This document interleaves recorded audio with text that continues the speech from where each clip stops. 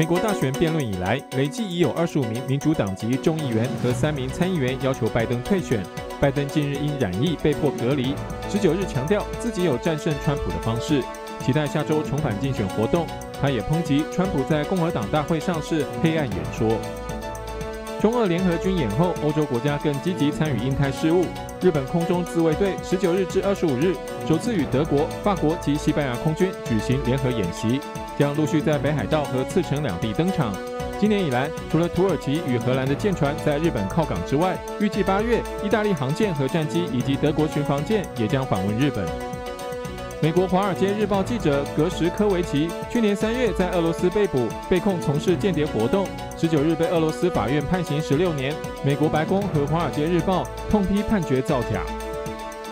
塞纳河将是巴黎奥运开幕式一大亮点，也是铁人三项和马拉松游泳比赛场地。但水质能否达标，外界关注。